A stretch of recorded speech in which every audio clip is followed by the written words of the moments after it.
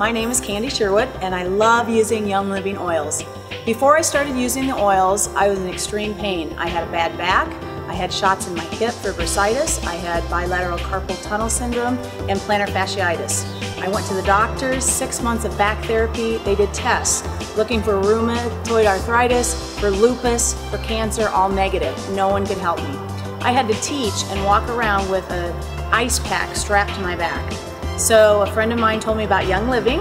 I started using Panaway and Peppermint and found immediate relief. But I wanted to get to the root of the pain, so I started taking Sulfurzyme and BLM after I went to a nature's remedy school in Wisconsin, and I became pain-free. So I no longer have to walk with crutches. I no longer have to take those little carts around in Target and Walmart. I am pain-free today. Now the fun thing about this, the awesome thing, was that I didn't know the other effects that were gonna come from using the Young Living oils. I had my blood work done, I get that done every year.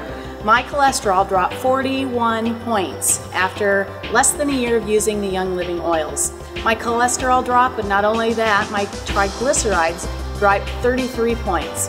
I didn't do any dieting, didn't change any of my food eating habits, it was all with the oils and anxiety's gone away. Today I can say I am chemical free and I'm off of my allergy medicine. I no longer take Zyrtec at all and I take no medicine, Tylenol, any of those, naproxen medicines, anything. So I'm chemical free, medicine free after a year of using Young Living products. They are awesome.